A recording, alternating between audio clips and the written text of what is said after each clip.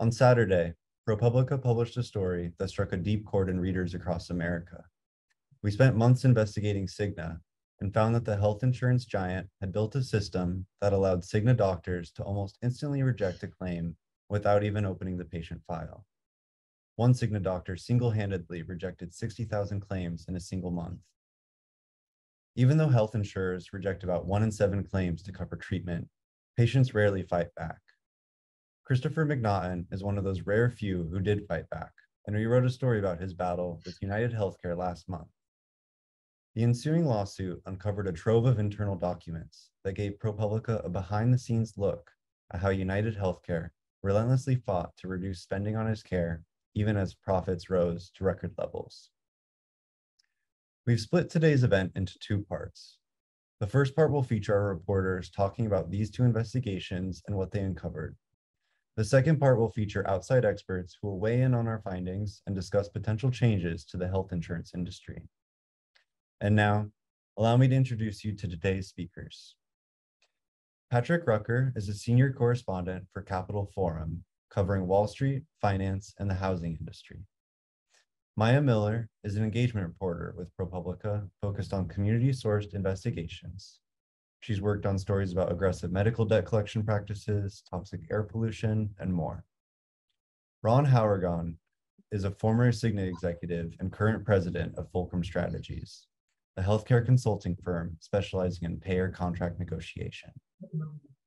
Mona Shah is the Senior Director of Policy and Strategy at Community Catalyst, an organization dedicated to building a health system rooted in race equity and health justice. Dr. David Rubin is a professor of medicine and chief of gastroenterology, hepatology, and nutrition at the University of Chicago Medicine. And our moderator tonight is ProPublica Senior Editor T. Christian Miller. Before I hand it off to T, I just want to note that we have received more than 300 audience questions ahead of time. We won't be able to hit them all, but we're going to try and cover as much ground as possible. And if you'd like to submit a question in today's session, you can do so by clicking the Q&A icon at the bottom of your screen and typing it there. Thanks again for joining us. I'll let T take it from here. Hi, folks. Uh, I want to repeat uh, Connor by thanking you all for showing up in the middle of busy days. Uh, this is an important topic, and it's one that really has touched a lot of readers. Almost everyone has some kind of experience with the insurance industry, and many of you have probably had uh, denials uh, before when you've tried to get uh, paid for medical care. So I'll be moderating today's session. Um, we're going to start off with Patrick Rucker, who is one of the reporters on the story. Um, Patrick, why don't you just give uh, the audience a little bit of a, a, summary of what you guys found in terms of what Cigna does with its denials? Thank you. Essentially, insurance companies, private uh, insurance companies that um, handle claims and decide what care will be paid for, what care can go ahead, are left in this trusted position where they decide uh, this care will be paid for, we're going to allow this surgery, this operation or treatment to go ahead. And that process of deciding whether or not the care will be reviewed or will go ahead and how it's reviewed is unseen to the average person and, and the consumer. And so, but it, but it is a trusted relationship because the, under the law and certainly the expectation of consumers is that if they're going to look at my uh, decision and whether or not I should, should get care, certainly they're going to do it uh, even handedly and with like some detachment. And maybe they're even going to look out for my best health interest as my doctor does. And i think that this story uh, raised a lot of questions about that process. Uh, the most recent story on saturday looked at uh, how quickly medical directors that's the name for these doctors who work for the insurance company that are hired to do these reviews how quickly they are handling uh, the claims reviews so whether or not something will be paid and we found that they were often handled in less than two seconds. So that means a doctor looked at this thing, decided someone's health impacts, whether or not this was a valid, whether or not this could go ahead in less than two beats. Uh, obviously, just that fact alone just raised our eyebrows and raised a lot of questions for us. And so we were asking, how could that possibly be that anyone could make a any kind of a meaningful determination about healthcare in that period of time? And as we dug in more, we found out that there were a handful of medical directors who were churning these things out um, in, in mass, in batches, is one way to put it, just signing off on them uh, in, in blocks without looking at all at the at the care or the condition of the patient. And you know, we heard it from at least one former uh, insurance regulator who said that doesn't look like what I thought was happening when uh, I was regulating the healthcare industry in California. And you know that's where we are right now in terms of what this all means. But uh, we we you know we're going to do more follow up reporting if other people believe, as many of our readers do, that that is not satisfactory. Two seconds to decide a claim. Uh, okay, well, let's dig into this a little bit more. Um, Maya, you had some specific uh, examples of what happens and how Cigna goes about uh, putting one of these um, procedures onto its list of uh, automatic denials. Do you want to tell folks about that? Yeah, so uh, during the course of our reporting, we came across this presentation that a couple of Cigna employees had put together back in 2014 about autonomic nervous system testing. Um, which I'm not a doctor, so forgive me for all the doctors on the call if my language is a little murky, but um, the test is generally used to measure ner- nerve damage for people with diabetes or other autoimmune diseases. Um, and what we found is that Cigna in this presentation was considering adding this um, ANS testing, um, autonomic nervous system testing, to this system in which they would kind of expedite uh, reviews so that they could go to these medical directors in batches for uh, or go to the medical directors who could then sign off on denials in batches. Um, and cigna uh, according to the presentation kind of gave two reasons for doing this. Um, one was that uh, they, they thought that for some of the diagnoses that this type of testing is not was not found to be clinically necessary. Um, and um, you know we, we did some further reporting on this and we went to Cigna's current coverage policies, and we didn't include this level of detail in the story, but um, there were, uh, you know, in Cigna's coverage policy today for this um, test, you'll see that there's about five different diagnoses for which they say they uh, will approve um, this kind of testing if you write a diagnosis to match it. Um, but um, for the other ones, they say it may be denied as um, experimental. Um, but what we learned through our reporting is that if this in, you know, when this uh, test was actually added to this list, um, it and if it didn't match any of those different diagnoses, it would be slated for this um, essentially automatic denial. Um, and we we did ask a couple of folks who work on this testing, doctors who you know order these tests, and they said that the list of diagnoses and Cigna's coverage current coverage policy was missing some um, you know, some important diagnoses like Parkinson's, for example, that this testing is important for. Um, so that so that was one reason they gave was clinical reasons. But again, we dug into that a bit more and found some issues with that. And the second reason uh, was savings, um, which I think Ron will talk about in a little bit um, more detail. But um, yeah, in the presentation, they estimated that if they added this test to the list, they could save $2.4 million a year. Um, and so that was, um, I think, the reason that the two reasons Cigna gave in this presentation for wanting to add this test to the list. Uh, let me take it to Ron now. Ron, you've been in and around this business for a very long time. Could you tell us a little bit about um, how insurance companies view the process of, of denying a claim? Is it something that saves them money? Is it something that they're uh, really wanting to do to kind of keep medicine costs uh, down? Just tell us a little bit about how insurance companies look at denials. Sure, absolutely. Well, I think it's important to understand that sort of the core function of an insurance company is to process claims, to process those bills from your doctors, hospitals, et cetera. And their systems are designed to automatically auto adjudicate claims. They don't want people involved. So they've got these very elaborate systems that, first of all, determine is it a claim that I should have? Is it my member? Is it a covered service? And they check all of these things. If the claim clears all those things, it'll automatically pay. A denial is something that has to pull that claim, if you will, out of the process to stop an approval. So the, the point I want to make is it's not like they're approving care. Approval is the default. The denial is the exception. And what they do is build functionality into their systems to pull things out that they want to either review or in the case of this story in Cigna's case, auto deny. Okay. And so they do that because of two things. One, as Maya just talked about, it saves millions of dollars.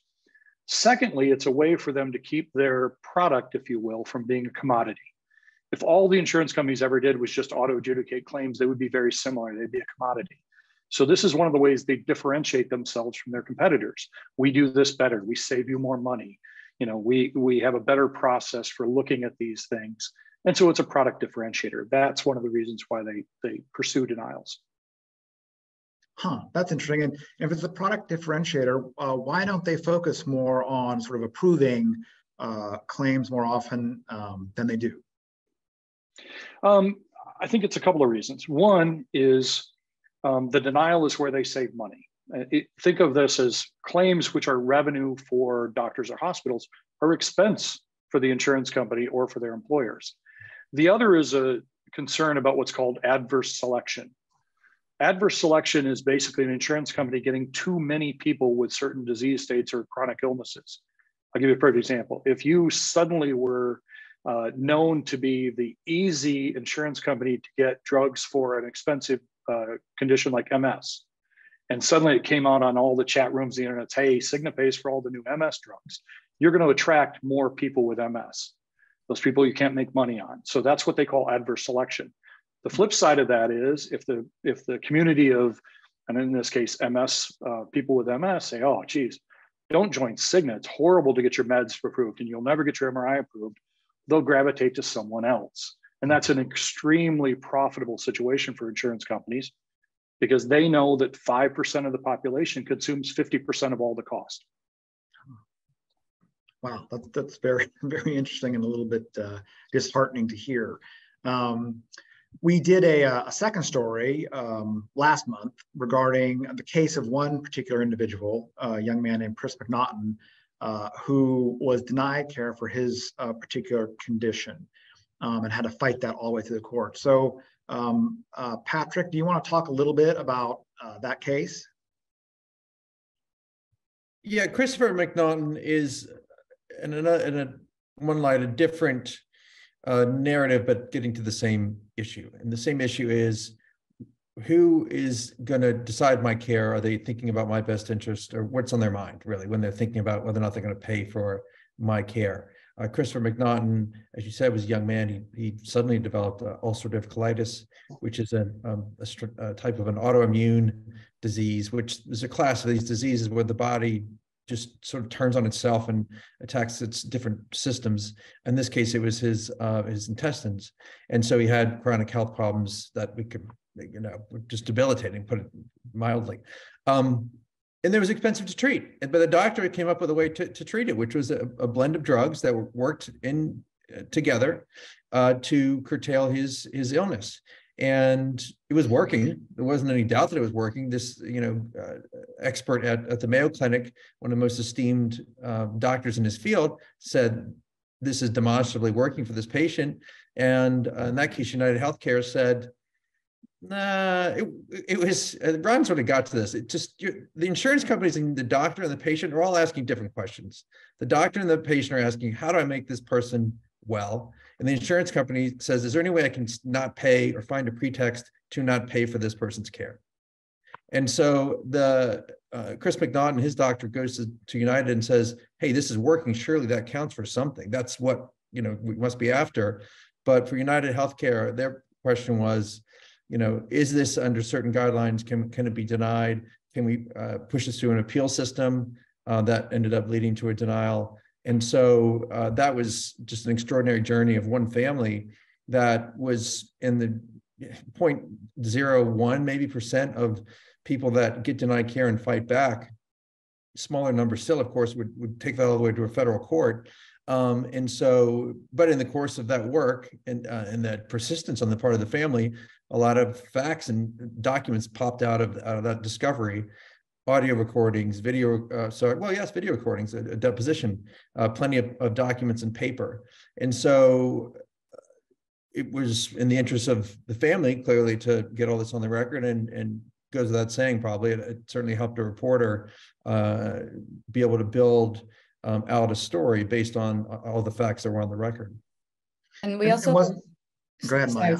I was just gonna say we also wanted we had a recording actually that Connor was gonna play um, that we pulled from the lawsuit during the discovery. Um, Connor, if you want to do it, it's a recording of a phone conversation between Chris McNaughton's uh, a nurse at United who was reviewing um, Chris's case and Dave Opperman who also works at United. So you'll hear Dave answering the phone and then a quick back and forth. But we just wanted to kind of, for those who haven't heard it yet, give you an insight into kind of the conversations that can happen behind these cases. Hello, this is Dave. Hi, Dave. This is Victoria. Um, sorry to bother you. I, I have some uh, updated news for you, though. Okay. Um, we did get the medical review back from the gastroenterologist, and um, he states that it's not medically necessary treatment.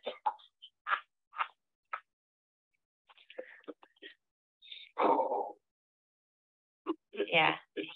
I knew that was coming. I did I did too, but I thought maybe they saw something I didn't because I'm not a doctor. So, you know. Yeah, so I think what stood out to us when we heard that, uh, if I don't know if you could uh, make that out, but it was uh, Dave was laughing when he heard that it was um, rejected and or that they came back and said they weren't going to approve it, and this had been medication that um, had really changed Chris's life and enabled him to you know be an active member of society and go to school again and you know get off his couch and be able to um yeah really interact with with people and and be out and about. And so um yeah that, that kind of uh i think that's the kind of thing we're interested in continuing and reporting on is really understanding what's behind the scenes of these denials as they take place. Right. And and ron why would um why would an insurance company like united healthcare uh, suddenly change a regime that had previously approved and all of a sudden say, no, Chris, this medication has worked for you, uh, but now we're going to change the rules of the game. We're going to give you a different medication or try you on, on a different treatment or deny your treatment. What's in that for the insurance companies?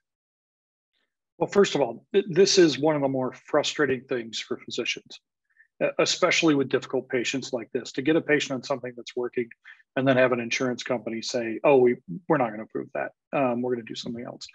The economic incentives are obvious. I mean, there's the first incentive that a lot of these, especially with difficult patients, um, like the one in the story, they're very expensive treatments. You know, this is not aspirin. This is not a statin that they can get for a buck a pill. These are expensive treatments. And so the easiest or most obvious economic is you don't pay that claim and you avoid an expense. Um, there's also an incentive of part of what they're selling to their self-funded employer groups is this concept of medical management. We're looking out for your money. We have this responsibility to look at your expense item. Um, and so they're showing these employers that look what we're doing for you. There was this expensive treatment that we denied.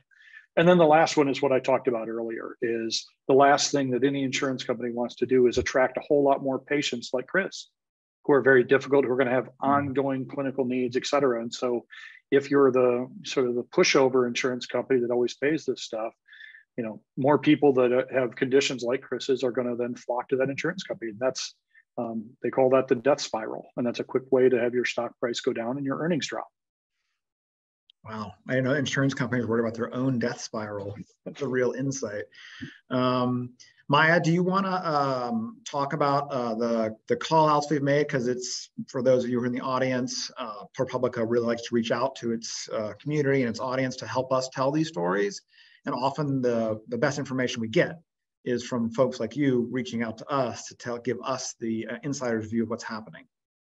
Yeah, um, for sure. Um, and thank you all for coming and for all for all of you who have re- already written into us. Thank you so much. We've been reading everything that you've been writing in, and it's been really helpful in guiding our reporting. Um, Chris's Chris McNaughton's case actually came in through a tip. Um, we put out a call out that Connor just dropped in the chat. If you haven't seen yet, um, I'd encourage you to open it. And his lawyer had actually saw that we had put that out there and encouraged Chris to reach out to us. And that's really what enabled us to get this information out there more uh, publicly for people to understand what's going on behind the scenes. And so, yeah, if you have a minute now or uh, later today, or if you know somebody who has worked in insurance um, or is currently working in insurance, um, you know, please feel free to send them the link. And um, we read everything that comes in um, and it helps guide our reporting. And you might hear from uh, me, Patrick, or our colleague David as well. Um, you know, if you all write something in. Yeah, it, it, a lot of our stories do come from just uh, those kind of tips and write-ins, and uh, it, it, one of the jobs of a reporter is to kind of try to find out what's happening. And that's made much easier if we're talking to people who've actually lived and gone through that experience. So um, I do encourage folks to fill out that form. Um, Ron, going back to you. So I get my denial uh, from the insurance company. What is the best way to go about appealing uh, that denial? Well, it's really two things. First of all, read the denial very carefully. This is a, a communication that's going to be written by insurance company lawyers um, for obvious reasons. And it's not going to be really easy to read, but you need to read it thoroughly. In that denial, we'll talk about your appeal rights, how to appeal, and what time frame you have to appeal, what information that needs to be provided. You need to follow those steps um, and follow them very detail oriented. The last thing you want to do is miss one of those steps and give them another reason not to want to hear your appeal. So again, read the denial and then follow the steps and try to do it quickly and thoroughly. Make sure all your T's are crossed and I's are dotted. Uh, and is there any kind of a, a time limit or statute of limitations on filing an appeal? There is, but it's very specific to what state you're in who Hmm. your employer is, whether that's fully insured or self-insured, whether it's covered by federal. Um, and that's why I say there isn't a universal where you must do this with an X. It will be in the denial. They have to give you that information, the denial, they have to give you those timeframes. So follow that. Don't trust that your, you know, your neighbor said, oh, well, I had 90 days to appeal mine. You may only have 60, depending on either because of a different employer, different state, et cetera. So look at that denial and follow that statute of limitations, if you will, that's in that denial. Right. So uh, Maya, if you are a person who's been denied, uh, is there anything you can do to find out more information about the reasoning behind it or what the insurance company is is saying and as their reason is for if issuing you a denial?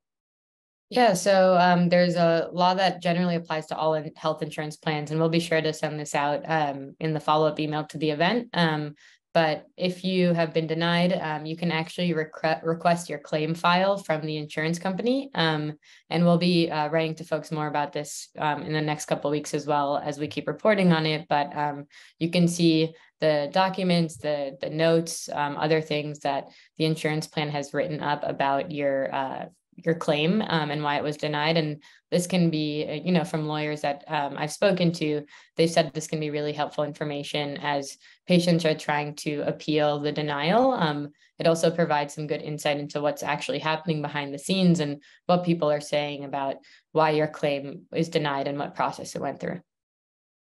Yeah. Um, and, and we really encourage folks uh, to kind of share with us that information because it's, again, the only way we have to kind of get behind the scenes. Um, we respect your privacy. Uh, we're not going to be putting anything out on the internet or anything like that. Uh, but we those documents really help reporters uh, as well as other people in terms of finding out what is going on. Like why is this insurance company issuing these denials? So uh, reporters always like documents. So those are the kind of documents that we would really uh, help us along in our trying to uncover the inside story of the insurance uh, industry. Um, and on that note, Patrick, like it is very difficult uh, as a reporter to kind of penetrate this veil of secrecy and, and, and um, that surrounds the functioning of insurance companies and what they do and don't do. Um, can you talk to us a little bit about that and how you, as a reporter, how did you guys uh, report out the story? Yeah, suffice to say, there's, and it's hard. This is despite the corporate bottom line profit seeking element to this, this is at the end of the day people's health and well being that's on the line. And the idea that a company would be monkeying around with the the rules of the care in a way that could lead to harm did not sit well with with a lot of people that are in this in this business. And so we spent a lot of time trying to track them down and and and see if they were willing to talk to us, share the insights they had. Um, people move in and out of this space as well, like physicians that had been in a clinical setting, then maybe spend a little bit of time reviewing claims, find they don't like that, they want to get out of that business and do something else.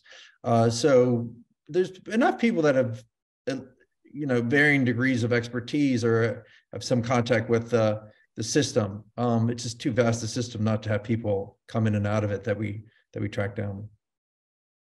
Right.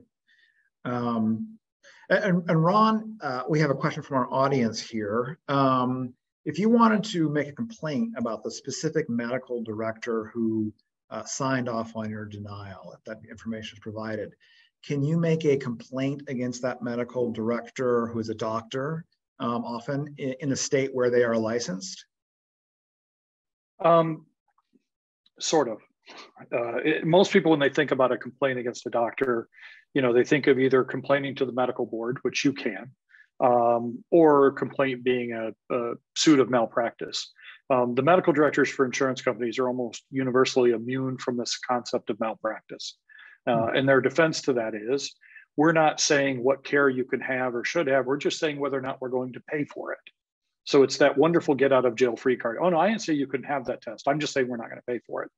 Um, but yeah, you can file a complaint to the medical boards. I'm not aware of any situation where um, an insurance company medical director had any sanctions or lost their license from the medical board because of their work um, involved with an insurance company. Hmm. Um, and, and just in general, who is responsible for re regulating insurance companies? Can you give us a little bit of an overview there of if, if I'm somebody who's upset about the story or who's concerned about my own uh, denial, who do I go to to, uh, to file a complaint normally? Who oversees the insurance companies? Well, the insurance companies are really oversought in, in two different ways. One, they're, they're over, there's oversight by the state Department of Insurance. Every state has uh, that function, whether it's State Department of Insurance, Department of Corporation, something like that. But what people need to understand is they really only have purview over what the insurance companies call fully insured, which is usually small employer group. For most of the companies like Cigna, and United, et cetera, that's about a third of all the people they cover. The other two thirds are covered by a self insured or an ERISA plan. That doesn't fall largely under the state regulation. That falls under federal ERISA leg- legislation.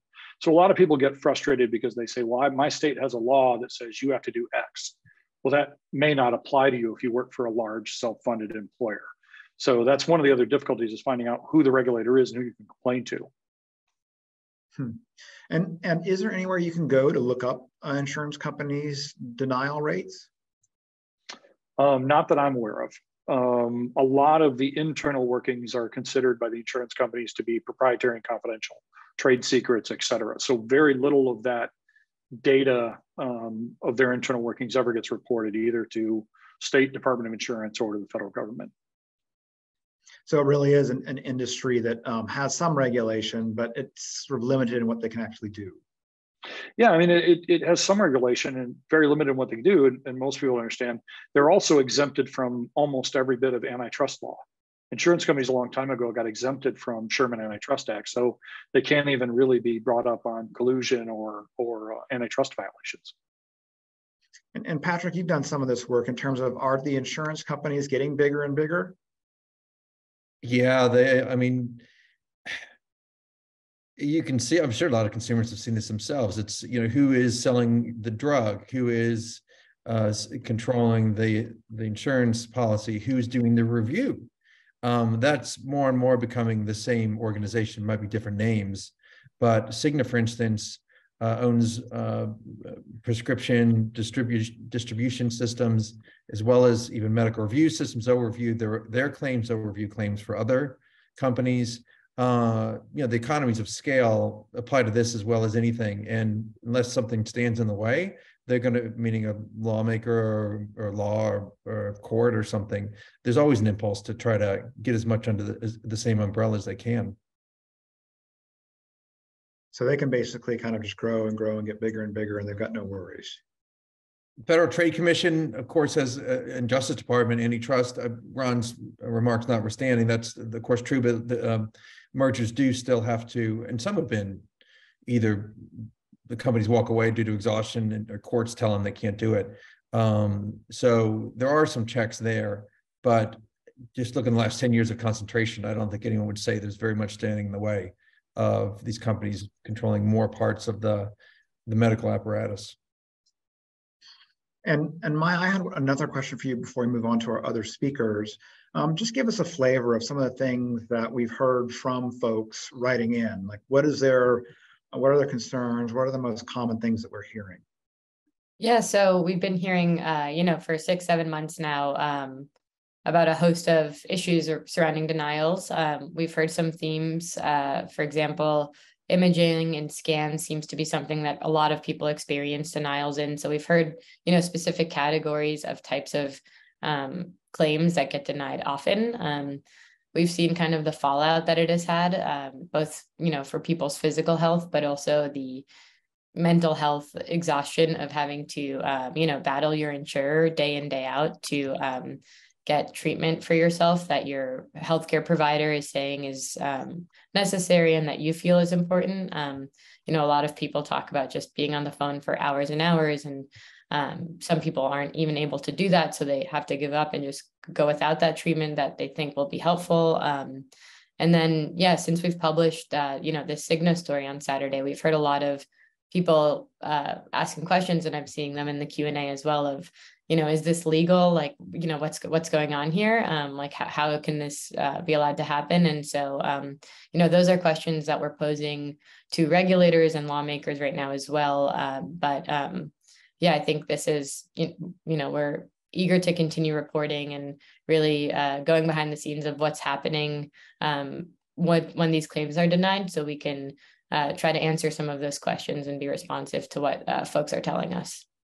And if I can just say one thing, I mean, for those who are listening, we are still doing a lot of reporting and want to hear from insiders, people that have sat in front of stacks of paper that have these claims denials, who've sat in on meetings where things were said that were disquieting or that you know didn't sit well. Frankly, uh, we are all ears, and we want to hear uh, from people who have, have been inside where these decisions get made. Yeah, this, these stories have struck a chord, I think, in, in part because so many people are just so frustrated uh, with the industry and what they're seeing. Um, I'm sure there's plenty of satisfied customers out there, obviously, uh, but um, from the, the, the tweets and the messages and everything I've I've gotten that, that we've gotten, this story has um, really had a lot of pickup, and I think that's an indication of um, how much uh, people are always fighting and, and getting frustrated by what's happening in terms of their their healthcare and the insurance company is paying for their health care.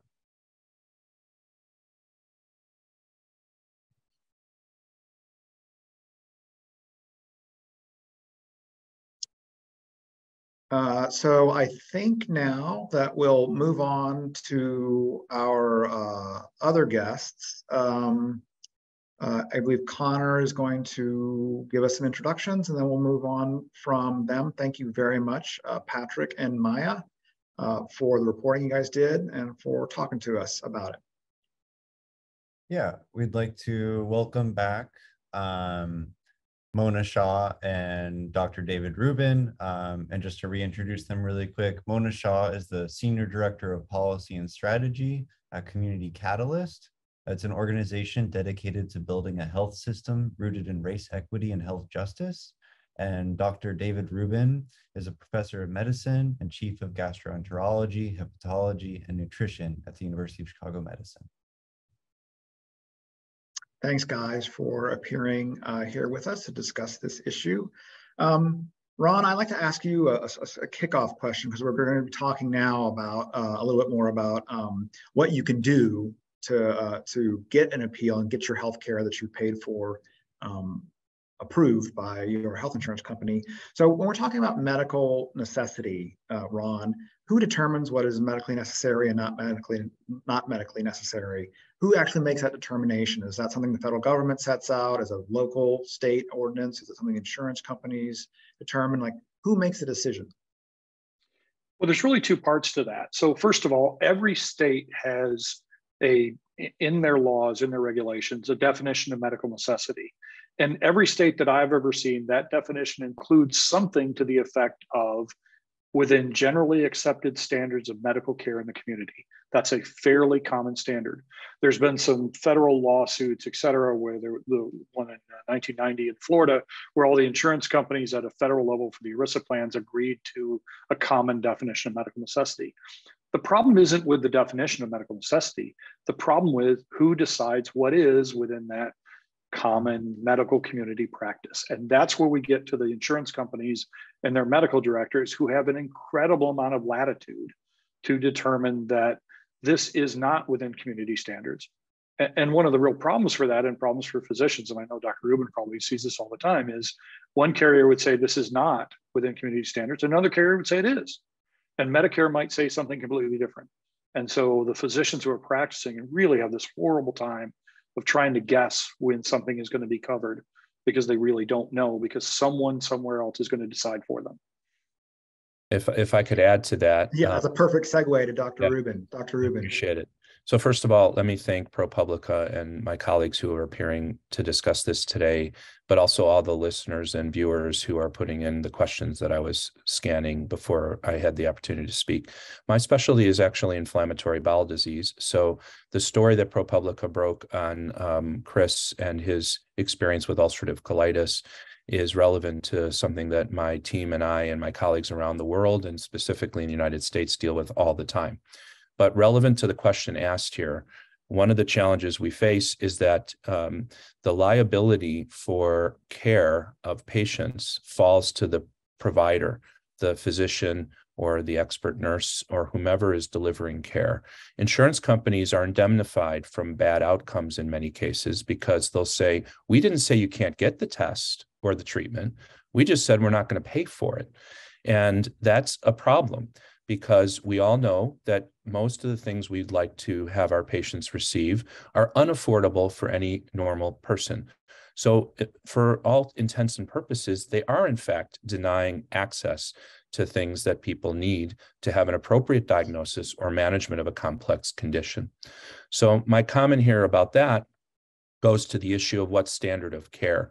And one of the denial claims that often comes across our desks, and I'm sure many people who are viewing this and others will uh, relate to, is when they call something experimental, or they say that you have to do something else before you can be considered for this particular test or treatment, uh, the so called step therapy or step approach to management.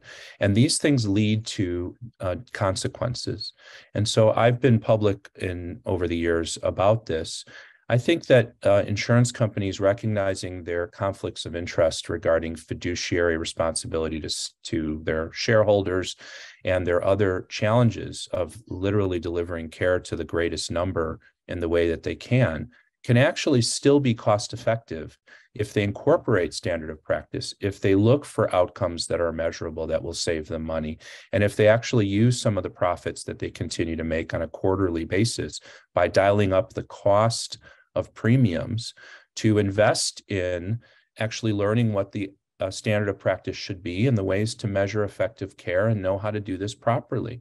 And I've said that many times, and I believe that there is a way forward, even recognizing their conflicts. And the only other point I'll make without um, belaboring this is that we haven't talked yet about the pharmaceutical companies and the costs of therapies, which continue to go up um, dramatically, even old treatments that have been around for many, many years.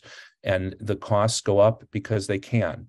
And then what happens is people charge more because they only get a percentage of it. And it's a completely broken system that we all acknowledge.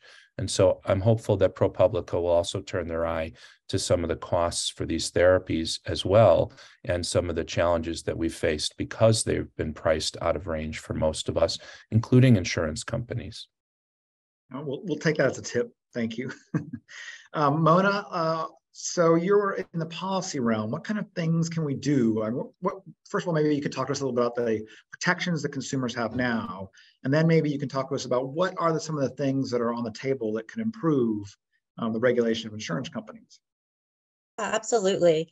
Um, and so, you know, just to put this a little bit in context, and I think some of the previous panelists mentioned this, um, you know, just earlier this year, Kaiser Family Foundation actually looked at a lot of the healthcare.gov marketplace plans um, and looked at the number of denials um, and found that actually consumers appealed less than two tenths of 1% um, of denied in in-network claims. And so certainly one opportunity is just creating awareness um, for consumers that they have a right to actually um, file a complaint and also appeal their denial.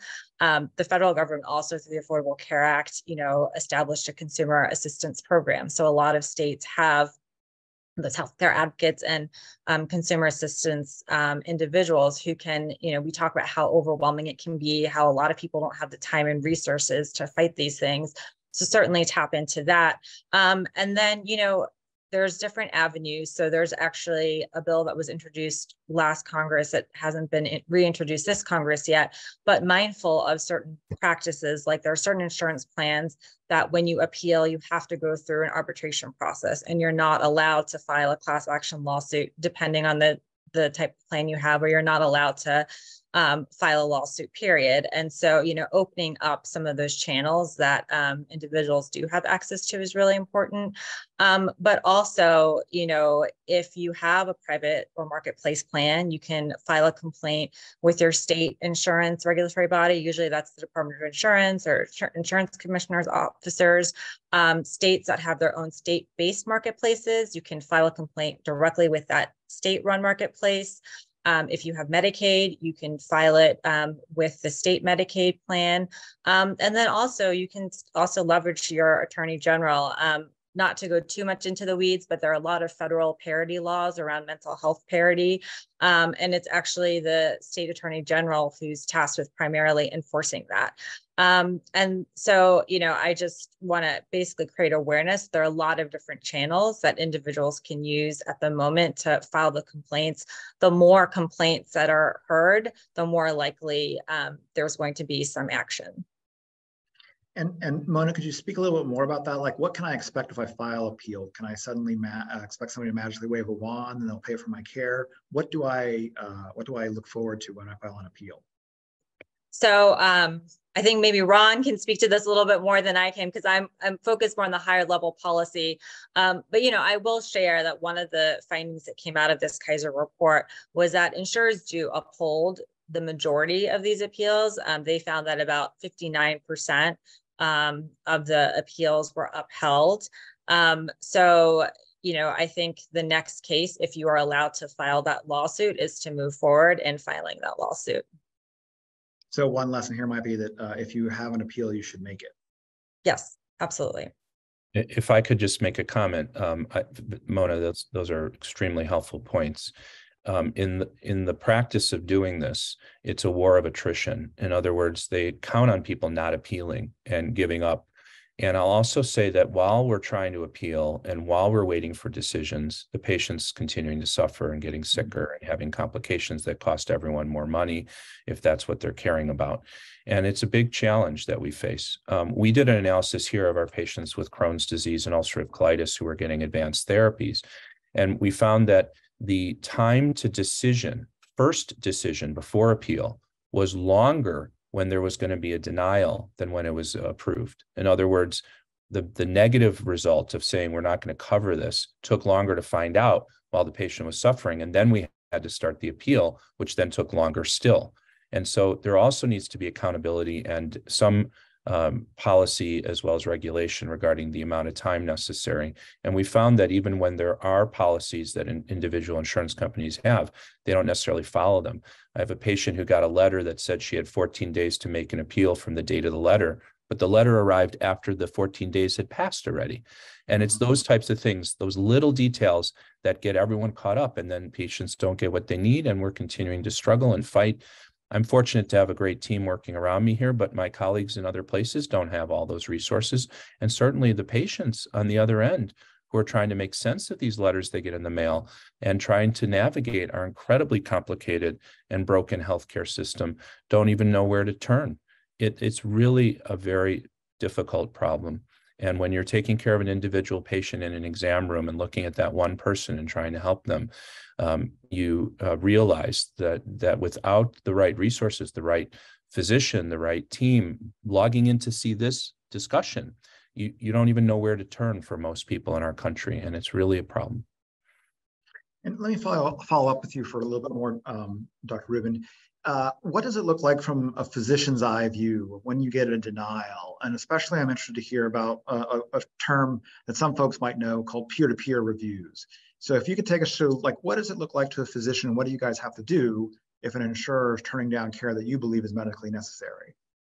Well, I'll start with the fact that not all denials are wrong. Okay, some denials are appropriate and they exist for a reason. So we shouldn't say that every time something's denied, it was the wrong decision. I just want to acknowledge that that some of these are appropriate when there's something that's not necessarily indicated or there's another issue. But when you get a denial, um, and you appeal, it used to be that we could request a so-called peer-to-peer discussion.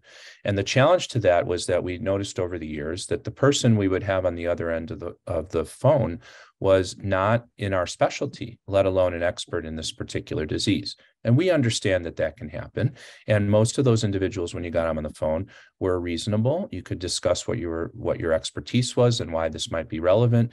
And you would finish the call, and they would often say, "I understand this is approved," and you'd be done, and you'd get a number, and you'd be finished. Um, then what we started seeing was that the individual who would take the call would say, Yes, I'm a physician, I'm not in your specialty. My job is to tell you how to appeal through the usual process of writing.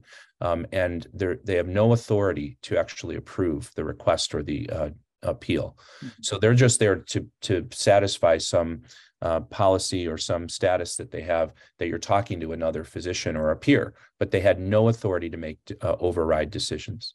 And now, most of the insurance companies that we deal with don't even allow that. You don't even have the option of speaking to someone who's a peer uh, or who's a physician or who's even at the right level to make decisions and override it because it's become so automated as you show in your recent article that you have published, um, while you're reading the article, it's showing you how many denials are occurring by the second because uh, of how fast some of these are being turned over by Cigna, and I'm sure others, uh, that it just doesn't even give you the option anymore. So there's nowhere to turn except to fight back in paper and to wait and to try to figure out what else you can do for your patient who on the other end of this is suffering in some way. Um, so picking up with what Dr. Rubin just said uh, at the beginning, uh, Ron, I can see an insurance company coming back to you and saying exactly that uh, these denials are necessary. We can't approve experimental treatments. We can't approve treatments that are for uh, unapproved things. Um, how do you respond to like an insurance company which would say uh, denials are actually an ordinary part of this process that help consume uh, help everyone save money. They help keep healthcare costs in general down. they reduce administrative fees. Uh, what's the response to that? Well, I, you know, I think much like Dr. Rubin said, every physician that I talk to understands that there are definitely in any profession, um, there are bad actors, and there are definitely requests for things that truly aren't indicated. And, and whether those are because the physician doesn't understand what they're requesting or they're just trying to help their patient or whatever. So I would agree with Dr. Rubin. There are there are appropriate denials. There are things that uh, insurance companies, employers shouldn't pay for because they don't have clinical value. I think the challenge becomes the scenario about but what all what about all of those denials that aren't valid in all the cases we hear about, et cetera, and the fact that then there's a patient suffering because they're not getting what they need.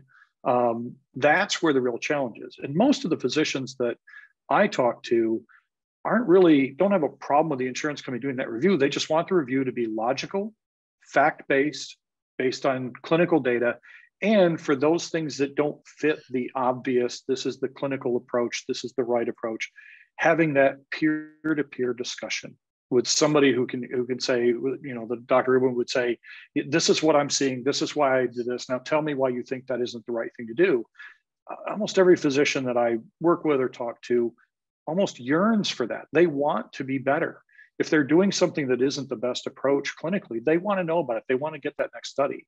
That's where it comes. They just don't have that opportunity. And they view it as, and I think rightfully so, as just a monetary denial, not a true what's mm. best for the patient denial. You know, it's a fallacy wow. that they're saving money. Um, if they actually looked at the downstream costs of some of these denials, um, where there's a delay in care or there's an adverse outcome because of a treatment that's been withheld, or you look at indirect costs, which are never calculated by the insurance companies of absenteeism or inability to go to work and then dealing with the illness and time at the doctor, et cetera. All those things add up in different ways. But for the most part in the US, they've calculated that many people will move on to another insurance company or go on public aid before they'll actually need to mm-hmm. file those complex downstream costs. Um, I would add one more point to the list of what we want, which is a timely decision. Uh, we don't want to be waiting and waiting.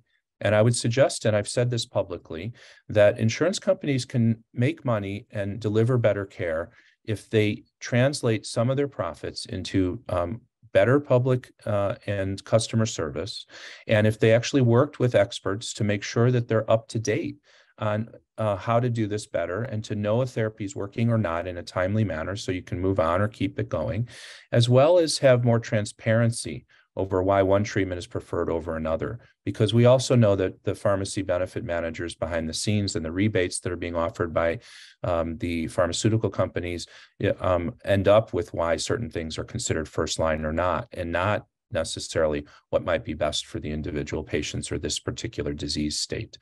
Uh, and it's a big challenge that we face, and we've offered many times to help with this across our specialty and they've not taken us up on it. So you're left with companies that copy and paste policies out of one disease state into another just because the drugs mm-hmm. are similar or don't stay up to date at all. The term experimental is used, which is wrong. It gives the wrong message to the patient. And a lot of times that's not even the right term. It's just the term they use as an excuse to deny something. And so there's all sorts of low hanging fruit here that could improve care and the delivery of care and still make insurance companies profitable if that's where they need to be, but deliver it in a much better way. Better stewardship of resources that are currently available could easily be done if they invested properly. Interesting. Um, and Mona, can you uh, sort of pick up from there and talk about, um, in your view, like what kind of reforms do we need to make, if any, to like the Affordable Care Act or any other areas of, of medical uh, of law that governs uh, insurance, health insurance? Yeah, there's um, you know, there's three pieces that Community Catalyst is focused on right now. So the first one is um, strengthening this essential health benefits. Um, so those are 10 categories of care that were included in the Affordable Care Act um, of the buckets um, that insurers are required to cover through different types of health plans, but it affects about 50 million individuals in the United States. Um, and what we found is that um, every state has to choose a benchmark plan. So it's kind of the basic plan of everything that needs to be covered. But there are a lot of inconsistencies around this, um, and the actual kind of regulations around essential health benefits hasn't been been revisited in 13 years. You know, since the Affordable Care Act was actually passed. Um, and you know, there's a lot of evidence um, that there are things that are supposed to be covered. Um, a lot of attention was given recently to contraception coverage and a lot of insurance companies just denying methods of contraception that should have been covered under the preventive care bucket, for example. Um, so we're actually, you know, working with HHS at the moment to encourage them to um, reopen kind of their process for evaluating essential health benefits. Um, and ideally, we would like to both see what is considered an essential health benefits. So right now, dental care, vision care, that's not even considered an essential health benefit. Um, and then also just um, having more consistency. And, you know, we we're talking a lot today about transparency and, and data. Um, but there's a lot of denied claims, especially in the mental health and behavioral health space, or they cap, you know, the amount of visits. For example, we all know that there's a mental health crisis going on, um, and so you know we just need better standardization in terms of the description of benefits for those plans, um, and also just you know again more of that data. The other piece um, is that you know the Affordable Care Act did actually try to have more um, reporting. So they did have some requirements around claims payment policies and practices. Um, plans were supposed to report on the data on the number of claims that are denied. Specifically, you know, CMS has a requirement to insurers to report the reasons for denying those claims at the plan level. Um, and then they actually gave the Secretary of HHS broad authority, kind of other information as de determined um, appropriate. But you know, to date, um, this authority hasn't really been fully implemented. Um, and a lot of the data to answer these questions um, isn't actually collected by the plans. Um, it's not always audited. The insurers aren't um, reporting the data consistent, consistently. Um, so there is a lot of space um, and leverage really that the federal government has the authority to have right now that they're not necessarily doing. And then the third piece is something we're focused on. You know, Dr. Rubin had mentioned, well, you can still get the care, um, but now you're paying for it out of pocket. And what does that lead to? That leads to medical debt. And so there is a huge medical debt crisis. A lot of that based on, you know, part of it is not having insurance or affordable insurance to begin with. And then even if you have insurance, what we're all finding out is that it can still be um, unaffordable. And so we're trying to work with the IRS um, and another agency, the um, CFBP to make some changes um, to bolster financial assistance policies for patients so that when they walk into a nonprofit hospital, they're more aware of their rights as patients about um, different um, avenues that could be helpful. So even if they don't have coverage or they have coverage, but that care has been denied, um, they're just other options available to them. So they're not going into medical debt, um, you know, trying to combat some of the collection practices, what can be reported um, on your credit score around medical debt. Um, so there is a lot of policy opportunity there as well. And, and can we just go back for a second to the uh, the issue of what mm, uh, insurance companies are required to disclose? Uh, is the uh, the agencies that are in charge of that, uh, whether it's HHS or, or whomever, um, why haven't they cracked down on on insurance agencies to to make them deliver more of this information that could allow more consumer awareness? That's a good question, and we're trying to figure that out. Um, you know, I think part of it is um, it's a resource it's it's issue, um, but also it's it's again the inconsistency. So, kind of how are you able to you know capture trends and themes um, you know when the data isn't all presented in the same way. And so having kind of more standardized ways to collect that too. Hmm.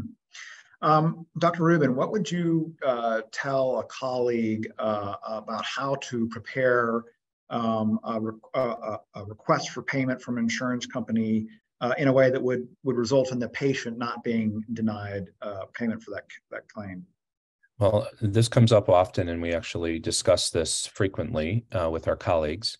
Uh, you don't want to make simple mistakes. So, first of all, if you're ordering a diagnostic test or if you're ordering a medical therapy, you should be sure to know what the appropriate indications are, to document what that is in your request, rather than just asking for the test and leaving things uh, out. And in your notes, to make sure you're adequately describing why it's indicated. Uh, that's all basic, but a lot of times it gets um, lost in translation. And then when you leave that off, it's an easy denial right out of the gate. Uh, so, for example, if we're prescribing a therapy that's for moderate to severe uh, ulcerative colitis, like the story you ran about uh, poor Chris's situation, um, you want to make sure you say this patient has moderate to severe ulcerative colitis, and this is a therapy that's required uh, or needed, and these are the therapies that didn't work, and just documenting the basics that actually deals with a lot of the easy things that insurance companies will deny out of the gate that are potentially legitimate for lack of documentation. You just don't want to be dinged on those. Um, then, when it gets to more complex issues, you got to make sure that you go the extra step to say this is indicated because an X-ray wouldn't be uh, as sensitive as an MRI, and we need the MRI because an X-ray was done two years ago and didn't show what we need, or whatever it's going to be. So you're anticipating some of those things. The extra seconds you take to document that properly will save you a lot of heartache and troubles down this down the road when you're trying to appeal and getting into that black hole of communication. Right. Um, Ron, turning back to you. So uh, one of our um, audience members wrote in that uh, the, their spouse had got a cancer diagnosis in February and was denied and denied and denied, um, gone through a lengthy appeal process. Uh, is there a point uh, where you can seek damages from an insurance company for delaying treatment? Uh, and more broadly speaking, can a medical director um, at all be sort of directly uh, sanctioned for decisions that turn out to be wrong? So, uh, first of all, I mean, it, it, these are the kind of stories that I think we all hate. I mean, you're already dealing with a cancer diagnosis, and the worst possible time to also be dealing with these financial denials and all this care denial stuff. I mean, that's that's really uh, you know something that we all hate to see, but happens way too often. Um, there have been situations where patients have successfully um, gone after insurance companies for these kind of denial things. I mean, the ones I'm aware of, there was one in, you know, with Blue Cross of Delaware and, and um, about denying cardiac scans. There was a case, a famous case just happened not too long ago against Aetna in California, where actually there was a medical director that was deposed and in the deposition said, oh, I don't ever look at medical records. You know, I just I just signed these things, and they settled that case on a court. The problem for people, especially at the time when they're dealing with this, when they're dealing with so many other things, is it's it's sort of like that old adage of, you know, yes, you can strangle a porcupine, it just hurts like hell. Um, it's so hard. You know, these are large, massive corporations that have more lawyers than you have people. Um, and they're very good at defending what they do. So theoretically, can you? Yes. And there have been a few successful cases. Is it really an option for sort of the average person? Not really. It, it, it really isn't. And that's one of the problems we have here. Completely agree.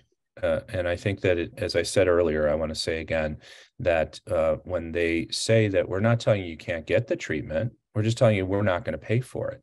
Well, the cost of care in the US essentially means that when the insurance company says no, you can't get the care. That's just the reality of what exists now in our system. And so I think it's a matter of time for someone to sort that out and take that to a higher level court to actually um, help us understand who's responsible in these situations. Uh, when you have insurance companies that are reporting literally billion dollar profits quarterly, um, despite the downturn in the economy or anything else, or the um, arrival of biosimilar therapies, which are supposed to drive down costs of care, yet we don't see changes in access or changes in premiums of the people who are getting the therapies. How can you not start to hold them more accountable? Uh, I understand the competitive marketplace of the US system, but I do think that there's a way forward that can help hold people accountable and provide more people with the care they need and uh, try to address these issues. Yeah, and one one last quick point. Um, when Dr. Rubin signs something, he takes responsibility, whether that's a prescription, an order, a chart note. You know, he's signing his name either you know electronically or pen, and he's taking responsibility for what happens. When a medical director at an insurance company signs a denial, there's no responsibility. They can't be held responsible for it. They can't be held under malpractice. They're not going to be sued individually, et cetera. And so that's one of the problems that I have significantly in this is, you know, one of the things I like about the practice of medicine, one of the things I respect about physicians is they do take responsibility. They know that that signature means that they're going to be held responsible for it, except in this version of a medical director signing a denial, which has zero responsibility. And, do you have any sense, Ron, about whether the the practice that we outlined with Cigna is more is more widespread in the industry? Do you have any sense of whether other insurers are kind of denying claims really quickly without ever doing any kind of in-depth review of a patient's uh, condition or file? Oh, uh, absolutely. I mean, it just it, it, the numbers don't work when you realize how many denials happen. There is absolutely no way that they employ enough or spend enough money on medical directors to actually do any sort of meaningful review on all of them.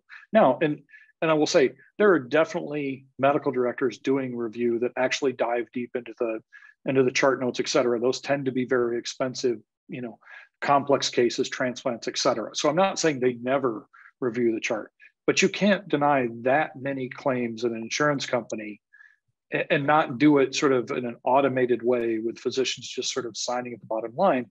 Um, they all have nurses that oftentimes prep these cases before the doctor even sees it. Um, and again, that's again one of the problems I have is that doctor signing their name, but with no responsibility and never having actually looked through it or even know what's going on with that with that patient. So yeah, it, it happens throughout the, the industry. Cigna isn't the only one that does that.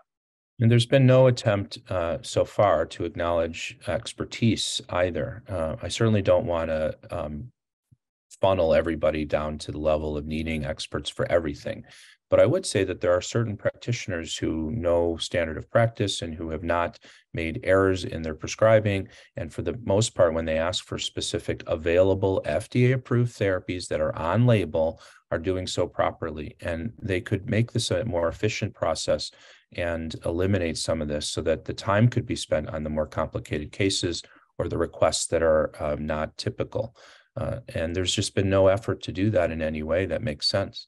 It's there are, you know, just to jump in, you know, again, bringing it back to the policy level, there are some states that are trying to do some interesting things. So in California, for example, about two years ago. Again, mental health services tends to be one of the most frequently denied types of healthcare.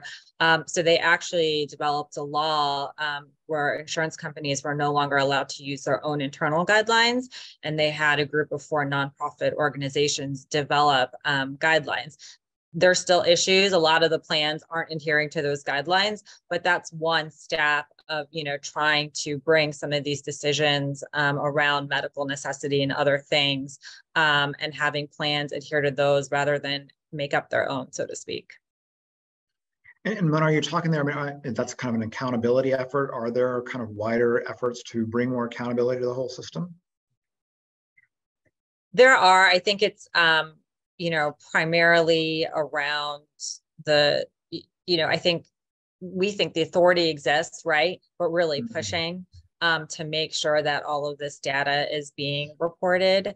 Um, you know, and then also we're keeping an eye on certain court cases. Um, you know, there's one called the Talevski case right now in front of the Supreme Court um, that really would affect an individual's right to appeal a decision under Medicaid, which is, you Hmm. know, a fe- federal and state funded program. Um, so there's there are a lot of different things happening, I would say, in the courts as well, um, that we're keeping an eye on to make sure that people maintain that right to appeal. And I mentioned this earlier, but the more that people appeal and file complaints, the more that this information can really come to light. And then the more that the federal government really uses the authority that it has to collect all of this denial information. Um, and uh, Dr. Rubin, right now, uh, when you go, are there any kind of regulations at all that govern uh, that um, govern peer-to-peer discussions? Like, is there any kind of uh, standards that the insurers have to meet uh, in providing a peer-to-peer conversation? If there are any, I don't know about them. I would say to you that I doubt there are. I've never had any uh, proactive communication from any insurance company. Uh, we just all of a sudden one day they were they weren't there anymore. You would ask for peer to peer, and they say, "Sorry, we don't offer that," and that was it. Uh, so I don't know if Mona knows more than I do or Ron, but I am not aware of any uh, actual laws that govern that. Um, so Ron, let me let me ask you: Do you are you aware of any kind of laws that govern any kind of part of the procedural uh, issues that insurance companies, health insurance companies, have with their patients? Like, is there anything that they have to do to deal with a patient uh, denial? Well, they, they, as we talked about before, the appeal process, you know, you, you can send in this appeal, et cetera. But I'm not aware of any law that, that demands or, or requires a, a peer-to-peer review, let alone a peer-to-peer review that um, for the physician would consider to be a peer. Um, somebody who understands this specialty and the, the most current clinical thinking around it. Um, uh, Dr. Rubin, let me let me bring you back to a uh, issue you raised earlier about the uh, the pharmacy costs going up. Can you talk to us a little bit about how that affects um, uh, uh, approval or denial of claims? Well, obviously, if if the and I don't want to oversimplify, but if therapies were um, less expensive or actually cheap, um, there wouldn't be these policies and these denials that exist to try to save money. Um, they're not, uh, unfortunately, the primary motive of these denials and the decisions by the insurance company is to manage their finances and to balance their books, not to deliver the best care. I'm sure some in the insurance agency and industry would take issue with me saying that, but that's the way it appears to all who are dealing with this on a daily basis. And we have to acknowledge that that is real. Um, so I would just say to you that um, the cost of care as therapies have gone up in complexity and in the r&d that leads to a new treatment being approved which we acknowledge is a big investment um, is what's driving some of these big problems. But as i mentioned earlier even older therapies like insulin or epipens or even um, some of the old-fashioned suppositories we sometimes need for our patients None of these are new, but their costs have gone through the roof. And so have denials of basic things that we used to be able to get our patients all the time. And so there's a lot of challenges here, and it's being driven by uh, profit motives, unfortunately. Uh, I don't think it's a, sal- a supply and demand issue as much as it's about we can charge more, therefore we will. Um, so so so other than sort of like getting costs down, is there nothing else that we can do about insurance companies kind of acting in their economic interests uh, before a patient's interest? I think this is part of that process. I appreciate what you're doing to have this conversation. I appreciate the work that Mona's doing. I think there's a lot of people who are trying to address this. And I honestly, to be fair, I'm sure there are good people in the insurance and agencies and industry that are trying to do good things. I've had dinner and meetings and discussions and roundtables with insurance managers. Their um, concepts and their mission and their ideas of how to manage are very much different than what a physician who's at the who's at, on the front lines is dealing with. That doesn't mean they're all wrong, But it starts with this issue of even having a communication with them about how can we do things better or what would be easier for everyone involved. Um, there's a disconnect because they think about it very differently. They're not interested in the latest guidelines uh, necessarily. They're interested in how do we take what is a limited resource in their mind, the amount of money they have, and the amount of requests they're getting for very, very expensive therapies, and try to make it uh, the end of the day to make the numbers add up. I I get that. So there's a big um, divide between these goals. Uh, and that's a big problem that we have to continue to struggle and figure out. I, I saw multiple people in the in the comments during this program saying um, maybe we should be reevaluating a single payer system and a different way to manage all this. This comes up, it's the perennial question, and it's worth having an ongoing conversation about it. Um, it's probably not something that's going to happen soon, but it's certainly one way to continue discussing this issue. And Mona's nodding, so maybe she has more to say about that. Well, I just, you know, I want to add part of it part of the challenge is the complexity of the health insurance system that we have. And so even when you talk about, you know, the different government agencies and who has the authority, you know, outside of HHS, you know, there's Department of Labor for the employer sponsored plans, there's the Treasury Department, um, you know, there's HIPAA laws, there's ERISA laws. Um, and so that almost makes it easier for um, you know some of these health insurance companies to do what they're doing. Um, you know, last year there was a lot of attention that was placed on Medicare Advantage organizations and um, kind of their denial based on prior authorization, and there were a few bills that were introduced as a result of that. Um, but again, you know, Medicare and Medicaid also two different health insurance plans, and so I think if there is a way to you know streamline things um, and have the requirements honestly be the same across the board um, because right now they're not you know even with the affordable care act you know it, it applied to non-grandfathered plans marketplace plans small group insured large group insured you know a true policy wonk can really get into the weeds with you.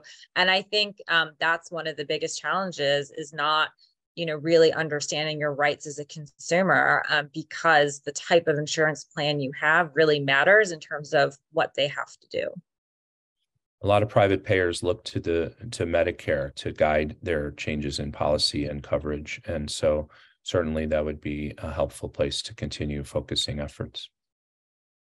Uh, so we're drawing uh, close uh, to the end here. Um, as a final question, uh, a little bit of an artifice here. I like for each of you, could, could, you name like one, the one most important thing that we could do to improve um, health insurance companies' uh, approval rates to make sure that more people get more care paid for. Uh, what's the one? What's one top thing we could do? Uh, Ron, let's start with you. Well, first of all, I think I think it'd be great if we had one set of coverage policies, a national set of coverage policies, not decided by insurance companies, decided by you know an external entity. You could take a representative from every medical specialty, you know, the American College of Cardiology, et cetera. That's the coverage policy. People shouldn't get a test because they have this insurance and somebody else with the same presentation not get it. So they have a different insurance. And then once you've got that one set of coverage policies much like if you will how we've got you know osha looking at workplace safety to make sure people are safe have a government entity that oversees that. If they violate if the insurance company violates that coverage policy just like if an employer creates an unsafe work environment there's penalties for it. There's consequences. To me that would be a wonderful first step in helping solve this problem. Mona yeah, so um, you know, very similar. I had spoken earlier about the essential health benefits, um, but I really think when that's a first step when it comes to um, coverage policies, and you know, really working to make sure that those are consistent um, and that those are enforced, um, I think is really important. I will say mm-hmm. also making it easier for consumers to file those appeals and to make those complaints um, would be second on my list two is okay. We'll, we'll take that. And uh, Dr. Rubin, uh, one thing that we could do to really improve the delivery of uh, insurance payments to patients who need them. Well, I think the insurance companies should be required to convene uh, experts uh, periodically. I wouldn't say annually necessarily, but to make sure that they understand what the standard of practice is in the space and can update their policies appropriately. Um, I agree completely that streamlining the appeals process would be helpful Um, but I think that underscoring this is the recognition that medicine is advancing and that there are things that they need to stay up to date with so that they're not behind and they're just making decisions based on cost rather than understanding how we're actually improving the care of people. So that would be my first request. And they can afford it. They can afford to do this. It's a matter of telling them that they need to and then holding them accountable. Um, well, that's our time for today. I want to thank all of our speakers, Ron, Dr. Rubin, Mona, Maya, Patrick, and our moderator T for sharing their insights on this important issue. A big thank you to everyone who tuned in for today's discussion and all the excellent questions you submitted. I'm sorry we couldn't address all of them, but I hope you consider subscribing to ProPublica to stay updated because we're going to keep reporting on this issue. And from all of us here, thank you for joining and we'll see you next time. Have a good day.